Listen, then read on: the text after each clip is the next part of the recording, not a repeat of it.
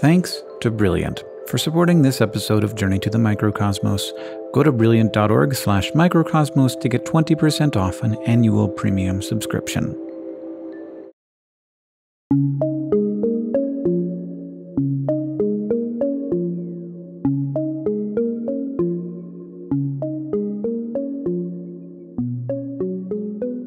We're nearing the end of our fourth season of Journey to the Microcosmos, and over that time, we've been able to see microbes through all kinds of lenses.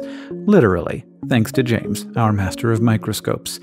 For the rest of us on the Microcosmos team, it's been really cool to not only see the footage that James has recorded, but also see the journey that he has been on with the microscopes themselves. Now, we have been able to make this journey because of all of you and the support you have shown to this channel by watching and commenting and sharing with others, or even and especially by supporting us on Patreon. We've all been on this journey together, so let's look back on where it's taken us and also get a peek at where we're going in the future.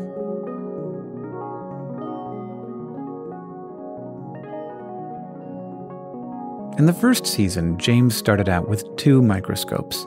One was a microscope that he assembled himself from different parts for under $200. The other microscope was a Motic BA310 that he received from a microscope company shortly after we started this channel. And these microscopes give us such beautiful footage thanks in part to the different techniques that James used with them, whether that was bright field or phase contrast, or dark field or some other technique to manipulate the light shining on the microcosmos. But these microscopes also had their limits, so we were really excited to see what would happen when James bought a new microscope before the start of our third season, the Zeiss Axioscope 5. This new microscope came with higher quality objectives, which are the lenses on the bottom of the microscope, as well as prisms that made it possible for us to look at microbes with differential interference contrast microscopy, a technique that sharpened their features and made them seem more three dimensional on our screen. We have videos exploring these different techniques and microscopes, so if you want to learn more about them, we recommend checking those out because light is much weirder than it seems. But we wanted to do a quick summary for reasons that are probably very clear from the title of this video. We have upgraded our microscope. The Zeiss Axioscope 5 was a very exciting change, but it was also an expensive one. So, when James bought it, he was only able to get two objectives a 20 times objective and a 63 times objective. Adding that to the 10 times magnification the eyepiece gives let us magnify our samples by 200 times and 630 times respectively, which is not bad, but a standard microscope usually comes with 5 to 6 objectives for a reason. The microcosmos is full of things both small and large to observe, and there is not a one size fits all objective that you can use to observe everything. So, one of James's priorities was expanding his set of objectives so that he could have the flexibility to see the microcosmos at more scales. And thanks to his recent upgrade, he's now gone from a set of two to a set of six that range from five times to 100 times and that gives us a magnification range from 50x to 1000x.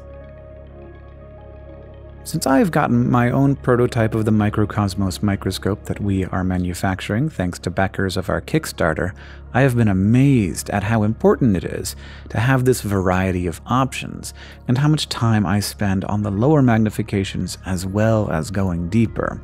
So without further ado, let's introduce these different objectives by looking at a ciliate called Tetrahymena that's taken up residence in a rotifer exoskeleton.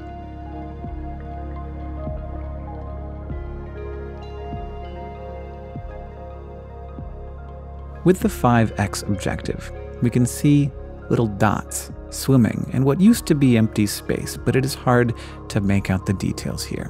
When we move to the 10x objective, we can start to make out shapes of the tetrahymena and more of the emptiness around them, but it's difficult to see the exoskeleton. Then, as we start to go up in magnification, the details of the exoskeleton become clearer. It's cool to see more and more of these details as we zoom in, and especially when we get to the 100 times objective, which gives us 1000 times magnification. You can make out so much of the insides of the tetrahymena that they look like bags of very resilient bubbles. Here's another ciliate called a pseudoprorodon that James looked at through all of these objectives. At first, it just looks like a little green thing floating around and knocking into stuff, but as we go up in magnification, we can start to make out the subtle undulations of its body, which shifts the different shades of green. And as we look even closer, the green itself takes on a new life, revealing the perimeters of the individual algae inside the pseudoprorodon. Revealing those details inside the tetrahymena and the pseudoprorodon comes at a cost. We can't see as much of the world around them, whether that's the emptiness around the rotifer exoskeleton or the objects that the pseudoprorodon keeps bumping into. Whether or not you need those details depends on what you are trying to learn and what we are trying to show. And that's why having the flexibility to look through a wider range of objectives is such an exciting upgrade for us. Objectives are our gateways into the microcosmos, and we are excited to have all of these new scales to look at.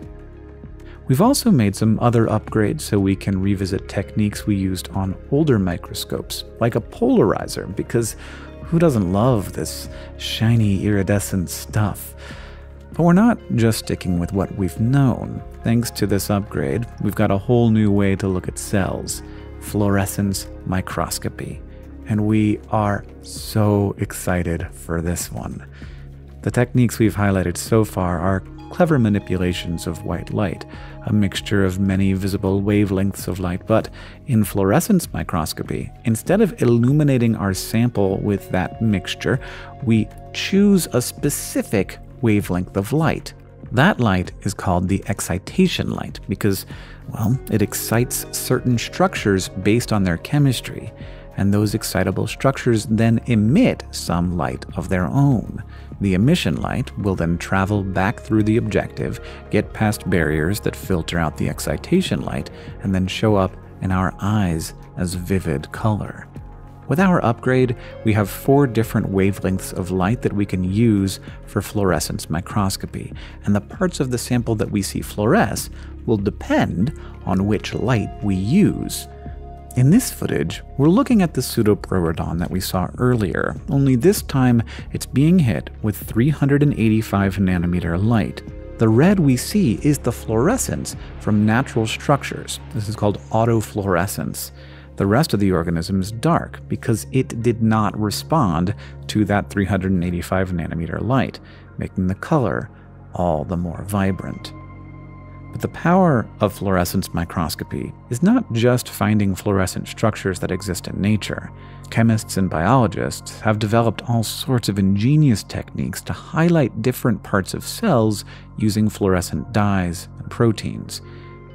James is working on building up his arsenal of fluorescence microscopy tools and techniques so that soon we'll be able to dive even deeper into the microcosmos to seek out things that have been hidden from us before, uncovering the unseen world inside the unseen world that surrounds us.